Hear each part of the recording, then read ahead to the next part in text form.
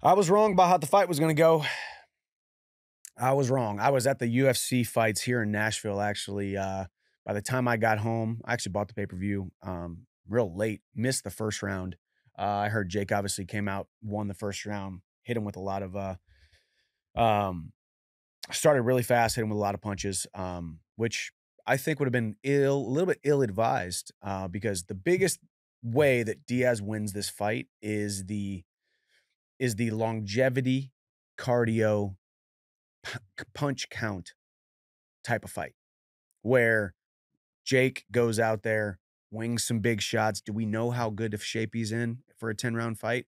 Questionable. Do we know is he going to keep his power for 10 rounds? Questionable.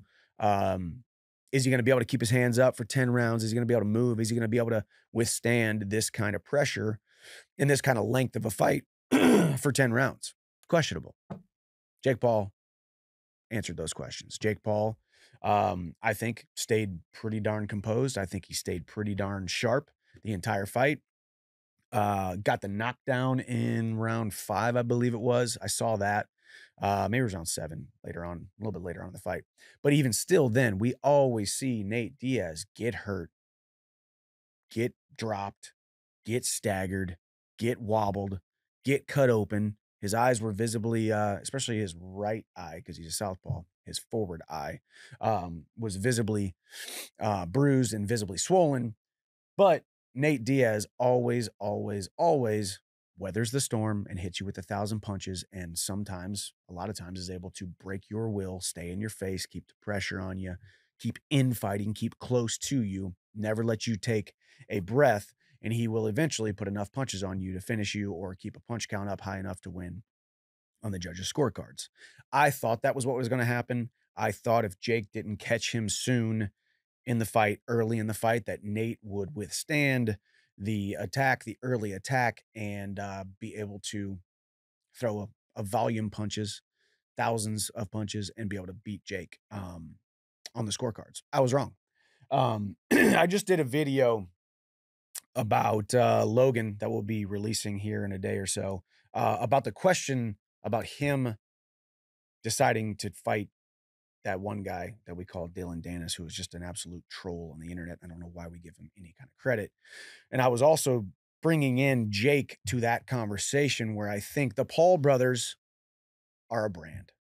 Jake has his own brand, Logan has his own brand, but neither of them on their own is as big as the Paul brothers brand. What they have done ever since Vine, ever since Disney, ever since YouTube, what they're doing now in the sport of boxing for Jake, especially Logan and WWE and now boxing, I guess. Um, unfortunately, they are guilty by association for each other, right? So I think on the one hand, I want to give Jake some props losing to Tommy Fury, who is a is a boxer, a real boxer. We can get it. We get Ben Askren, not great hands. We get it. But former world champion in mixed martial arts, retired.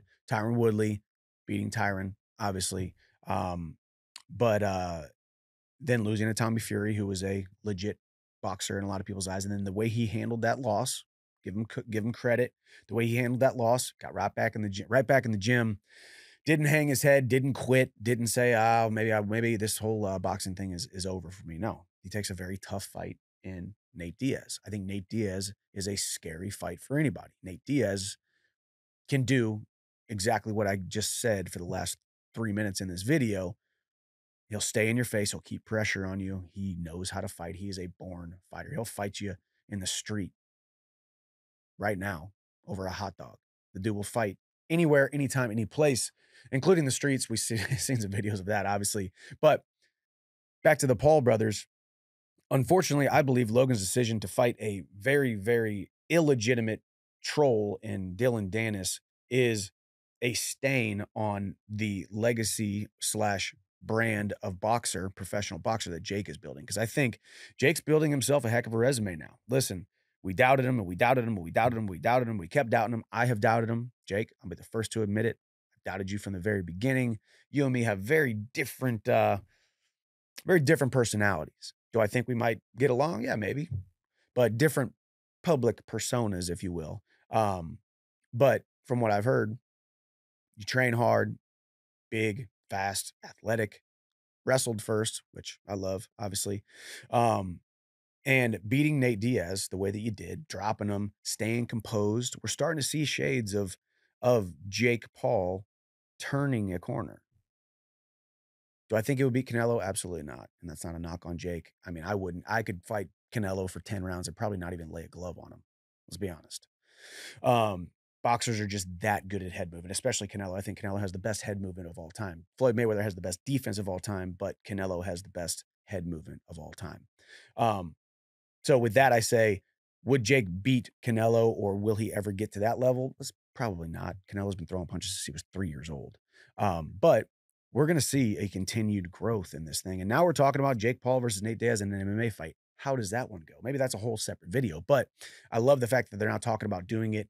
I think in the PFL under MMA rules, MMA gloves, Jake Paul versus Nate Diaz.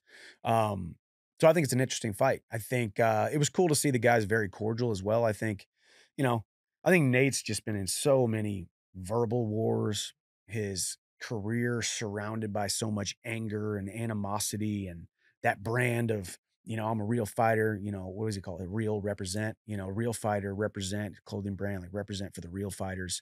Uh, he is an absolutely a real fighter. And Jake Paul beat a real fighter. Is he a real boxer? Not really. Was he a good boxer in MMA because of, of his volume punching and his cardio? Yes. But in the realm of boxing, not the best boxer. But Nate did a very good job of keeping the pressure on him. I was just talking to Connor, my media director over there in the corner. He's like, the, the fight looked different. It looked weirder. It looked interesting. It looked different than a normal boxing match. And it did because Nate Diaz knew if that Jake Paul right hand comes over the top and lands, I'm going to get dropped just like he did. Excuse me. So he had to keep the fight very close. He had to f- keep the infighting very close. You would see he'd be out of range and then he would jump in range, hands up, tie up, boom, boom, boom, boom, boom, hit with hit with uh, you know, six or eight different kind of slapping punches, um, and just kind of volume work, a lot of volume work on Jake. But um at some point we got to start asking ourselves, you know, Jake taking a fight like this, Jake winning a fight like this. I think Jake's getting better. I think you can't deny the fact that the dude is actually committed to it. You know, at first I thought it was just gonna be like, well, I'll kind of take it kind of seriously. It's more promotion, it's more spectacle, it's more entertainment, it's more content that the Paul brothers are geniuses at. Um, but obviously, I think he was down in like Costa Rica or somewhere. Um, he was down in Miami for a while, and then uh, then he rented a place in Costa Rica, rented out a whole boxing gym or something like that. The dude is taking this thing very seriously. Now he's going to move into mixed martial arts against Nate Diaz. Hopefully, I think it'd be a great fight. Um, but my overall sentiment of the fight is Jake is better than we thought he was.